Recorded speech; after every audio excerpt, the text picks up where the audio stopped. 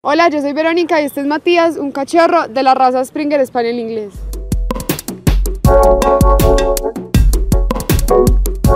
Te invitamos a que nos acompañes a conocer más sobre esta raza. El Springer Spaniel inglés es una raza que se destaca por su inteligencia, sociabilidad, alegría, ternura, energía, lealtad, entusiasmo y audacia dejando a un lado la agresividad. En el día de hoy tendremos a tres profesionales que nos hablarán acerca de diferentes temas relacionados con esta raza. Comencemos con Alberto Díez, experto en etología y adiestramiento animal. El Springer eh, es considerado dentro del FCI eh, como perro de cacería. Eh, es original de Gran Bretaña y data más o menos de los años 1800 utilizado siempre como perro de cacería. Eh, la actividad o lo, que él tenía que hacer era espantar la presa para que saliera y hacerla subir para que el cazador interviniera pues, en su proceso. A continuación, la médica veterinaria Natalia Arroyave nos explicará algunas generalidades del estándar de esta raza. Este perro tiene diferentes mantos. Eh, este manto es negro con blanco. Está también hígado y blanco. Dependiendo de la raza y de la, línea del animal se llaman también los colores. En todos los perros que son levantadores el color es hígado, en vez de el que sería, por ejemplo, en los labradores sería chocolate, en ellos es hígado. Debe tener eh, el color muy bien definido y las marcas son muy definidas también. Generalmente tienen, es uno de los rasgos que se desea en cuanto a la coloración del manto, y es que tenga la carita como este pequeño antifaz que tiene acá. La longitud del pelaje de estos animales es semilargo, no son tampoco muy, muy largos ni muy corticos. Sí son hay características especiales, siempre, siempre debe tener los mechones posteriores a, los miembros anteriores y mechones posteriores también, posteriores pues a la pierna de miembros posteriores también. También sobresale mucho los mechones que salen de, de los dedos. Cuando son perros para show, estas paticas se pulen se le sacan todos estos pelitos de acá. Ahora cuando nosotros tenemos animales para, para mascota, pues sencillamente se tolera. Se tolera que tenga este tipo de mechón, incluso es uno de los distintivos que tenemos comercialmente para, para este tipo de razas.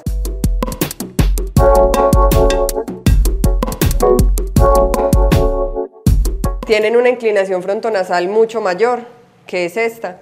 La cabeza en los temporales es ligeramente embombado. El surco que viene hasta la cresta del occipital es un poquito más disimulado, no es tan profundo.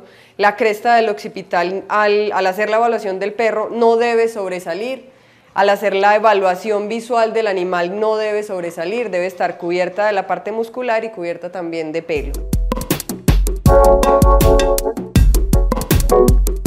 La forma de la, de la cara tienen una una característica es que, se llamó en algún momento como el hocico de campana, y es esta característica que tienen acá, que los labios superiores sobresalen al cerrar la boca de los labios inferiores. Son de comisuras amplias y tienen una característica adicional, porque también se trabajan como perros, cuando fueron perros cobradores en algún momento, y la forma de, de la boca, esta forma que tiene, de los, que los labios en esta parte sean amplios, está diseñada para su finalidad zootécnica, con un objetivo, y es que al momento de tomar la presa, tengan la oportunidad de cerrar la boca tomando la presa y aún así tengan el labio laxo para que por este lado puedan respirar. Esa es la razón por la cual tienen la boca de esta forma, el labio de esta forma. La mordida también es en tijera. Los colmillos de la mandíbula inferior deben ir por delante de la mandíbula superior. Dependiendo de la coloración, es la coloración de las encías. Pueden tener encías de color completo, como este Matías que las tiene de color rosado completamente. Pueden tener las encías moteadas o con una ligera pigmentación también. El color de la nariz siempre debe coincidir con el de la variedad. En los animales que son más claros, por lo general existe una despigmentación, pero lo ideal es que exista una relación entre el color de la nariz, las comisuras de los párpados y el manto.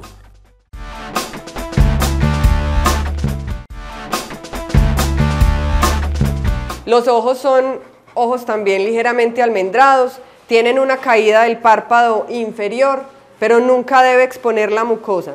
Debe ser ligeramente caído, ellos tienen esta característica, pero nunca debe ser que se vea completamente pues como la, la mucosa. Debe estar con el ojito, el párpado pegado completamente a la mucosa, como en el caso de, de Matías. Según la forma de la cabeza en esta raza, las orejas deben tener una inserción baja. Este pabellón de las orejas es bastante largo, va más o menos hasta acá, y debe estar completamente cubierta de pelo, desde el inicio hasta el final de las orejas. En lo referente al cuerpo son animales cuadrados, musculosos y con una excelente línea dorsal. No deben tener ningún tipo de desviación y en algunos ejemplares se permite una ligera caída en la cadera. Esta raza no tiene un peso definido. En la mayoría de los ejemplares se amputa la cola. La cola se permite que sea amputada o que sea larga. Cuando la cola es larga, pues deben caminar con la cola ligeramente caída. Deben tener pelo o sea, en toda la longitud de la cola. Esta característica, uno no ve muy a menudo perros que tengan la cola larga. Springer Spaniel de cola larga no se ven muchísimo. Es el momento de conocer la historia del protagonista de este programa, Matías. Nunca hemos tenido perros grandes ni nada porque mi papá es muy alérgico, entonces pues como que nunca habíamos comprado perros, pero un día eh, nosotros estábamos por el aeropuerto esperando a que llegara una amiga de Portugal.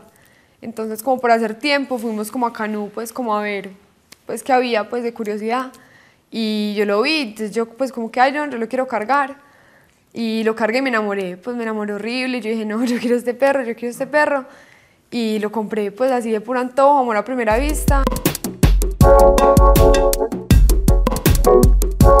Las cualidades de Matías son pues principalmente él es súper juguetón, le gusta mucho, pues todo el tiempo está como saltando, corriendo, jugando, eh, mordiendo cosas. Eh, también es súper cariñoso, pues siempre lo busca uno como para que uno lo acaricie, lo mime. Importantísimo, la etología en el animal. La etología es el estudio del comportamiento de los animales. Cuando trabajamos con perros, pues necesariamente tenemos que comunicarnos con ellos, saber comunicarnos con ellos. Si nosotros tenemos un pollo, tenemos que aprender a hablar en pollo. Si nosotros tenemos un perro, tenemos que aprender a hablar en perro. Si tenemos un gato, tenemos que aprender a hablar en gato. Entonces hay una cosa que se llama etograma, y el etograma es traducir lo que él me quiere decir con su cuerpo, porque la comunicación con los animales es muy básica. Es lo que ellos me quieren decir a mí a través de su cuerpo, a través de, gestos, a través de miradas, a través de posiciones corporales. Son muchas cosas que yo tengo que aprender a traducir del perro.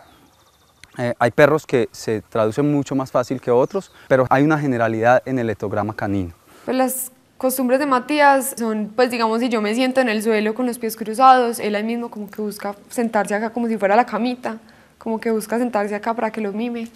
Y otra es que él reconoce demasiado el sonido del carro, pues cuando, como cuando frenan la bajada, entonces él apenas escucha el sonido, él sale corriendo, se va para la reja de allí, pues a asomarse, él ya reconoce pues que somos nosotros, entonces siempre que escucha el carro, sale corriendo y se asoma pues como para saludarnos, para que nos acerquemos a saludarlo. Cuando él se sienta, que es un tanque está mirando, quieto, quieto, quieto, mira, yo lo abrazo, lo y pico de todo. Ay, Matías.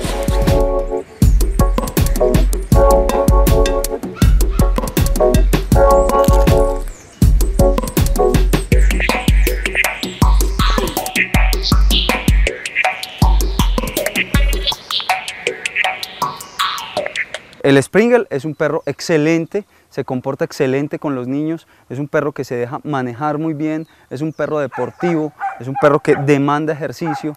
Entonces son perritos eh, muy cómodos para tener como perros mascotas. Perfecto. Eh, es un perro excelente de compañía, eh, podemos esperar muy buenas cosas de él. Es un perro muy juicioso, muy manejable, eh, pero tenemos que darle ejercicio. Es absolutamente necesario el ejercicio. El ejercicio en los animales es muy importante porque de lo contrario empiezan a haber malversaciones en sus comportamientos. Ellos nos exigen que le demos ejercicio.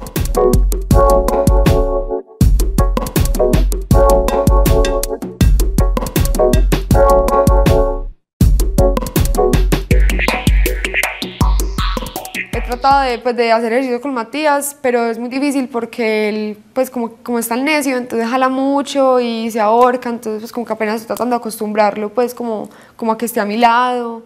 Y pues sí, también es maluco porque a veces se cansa muy rápido, pero pues lo estoy acostumbrando apenas.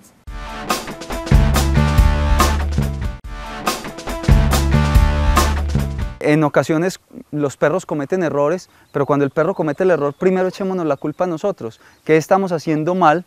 Porque el perro no es mimado.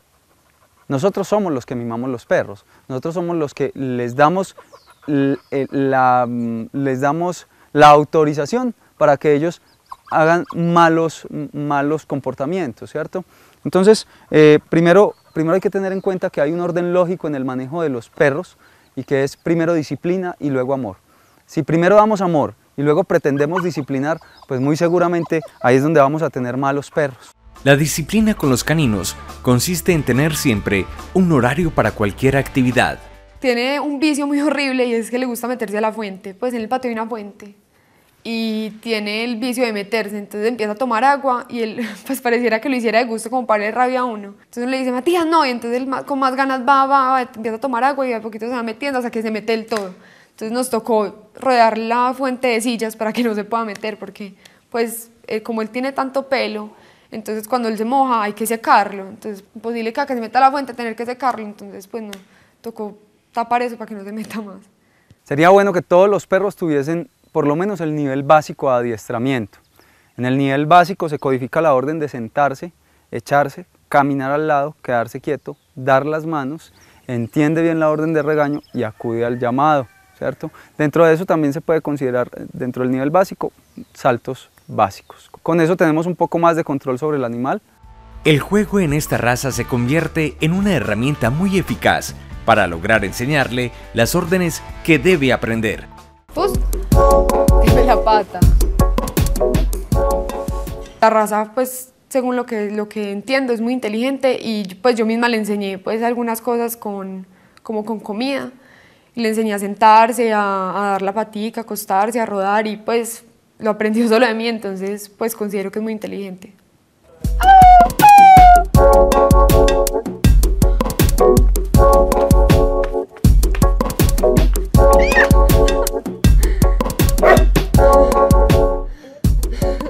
Recordemos también la ley 746 del 2002.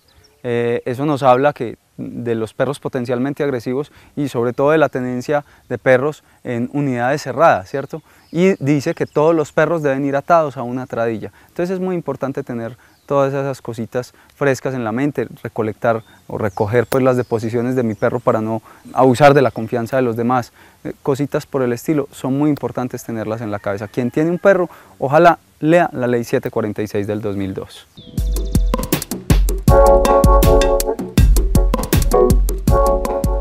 Yo considero que es importante entrenar a Matías porque como él es tan necio, para poder salir a caminar con él y todo eso, como que es importante que él aprenda como a obedecerme, para que no se pierda, como para que no se vaya con otros perros y esas cosas. Cuidar el aspecto de nuestra mascota es muy importante. Aprendamos cómo debe ser el aseo en el Springer Spaniel inglés.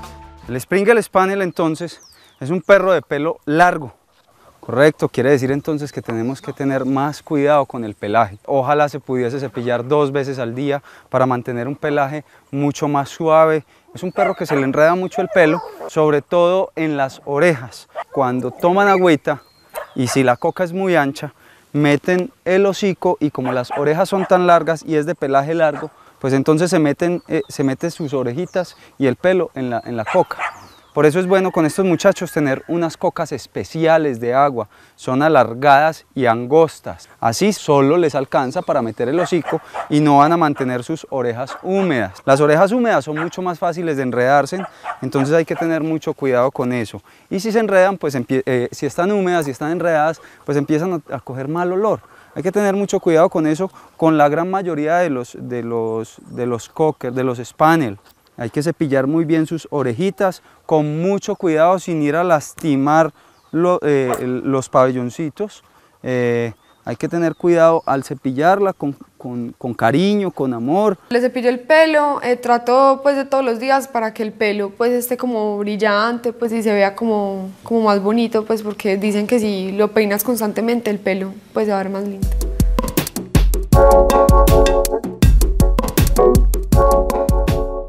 Cuando vamos a cepillar, eh, arrancamos cepillando a pelo de la cabeza a la cola, luego a contrapelo de la cola a la cabeza para sacar todo ese pelito muerto y luego volvemos a repetir la misma acción de la cabeza a la cola, a pelo.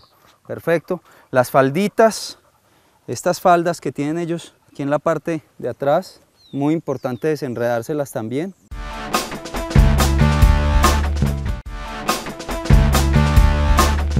Existen dos tipos de baño, el húmedo y el seco. Un mes tiene 30 días, el día 15 hacemos baño seco y el día 30 hacemos baño húmedo. Entre más bañemos al perro, más mal va a oler. Tampoco podemos abusar del, del baño seco, el baño seco es con talco.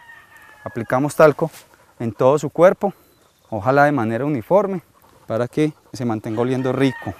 Hay talcos que son insecticidas, son desodorantes, insecticida, controla un poquito pues la pulga y la garrapata y desodorantes quedan oliendo los perros deliciosos. Entonces masajeamos para que el talco nos penetre, penetre en la piel del animal, entre el pelo y la piel y luego empezamos a cepillar a contrapelo, igual para que penetre el talco, de la cola a la cabeza, con las paticas, esos plumones que tienen en las patas, hay que cepillarlos también, el pecho, el Springer es un perro de pecho amplio, hay que saberlo cepillar bien. Y luego a pelo para quitar el exceso de talco.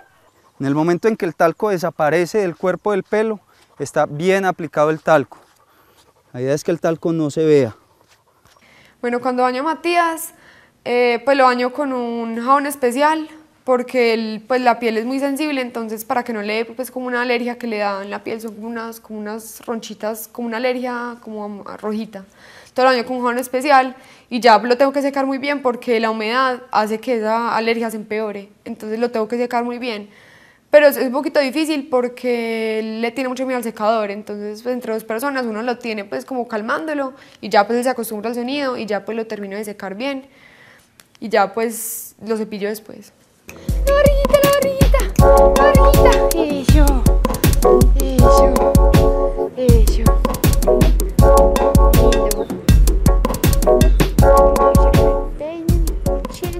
Limpieza de los oídos eh, se debe hacer, cada ocho días puede hacerse.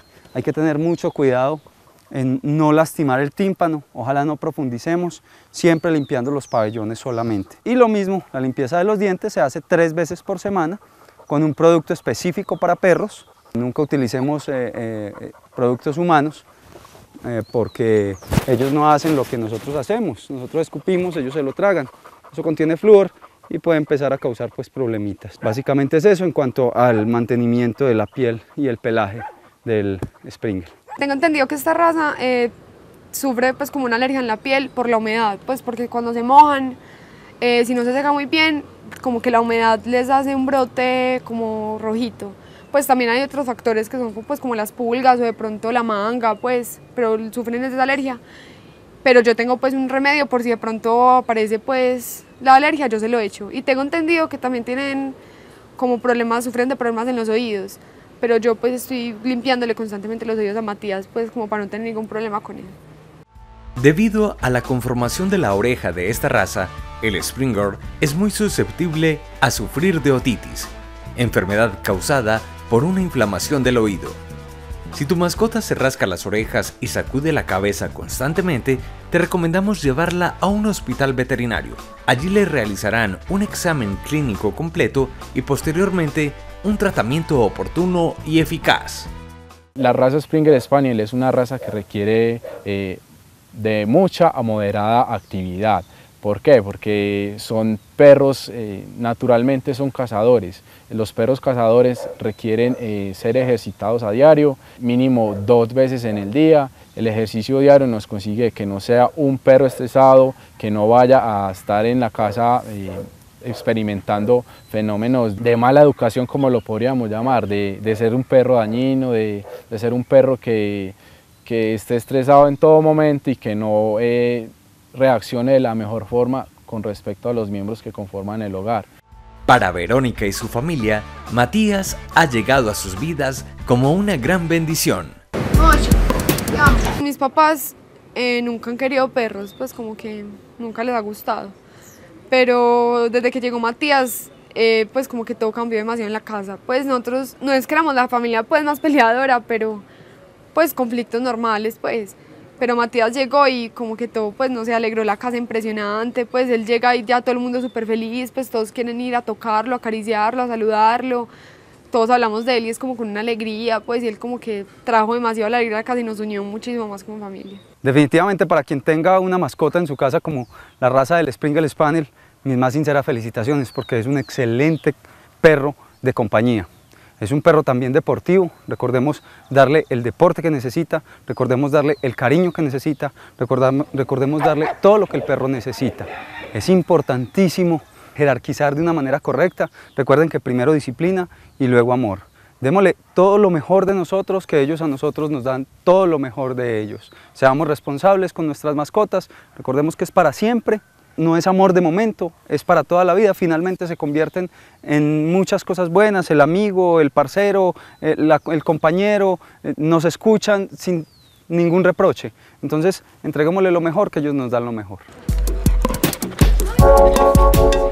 Para mí Matías es como, pues, como un miembro más de la familia. Pues yo, dicen que los perros son el único ser que te va a amar más a ti que al mismo y yo pienso que pues que eso es lo que Matías nos hace sentir a nosotros, pues como que él siempre está ahí, él siempre nos hace sentir bien.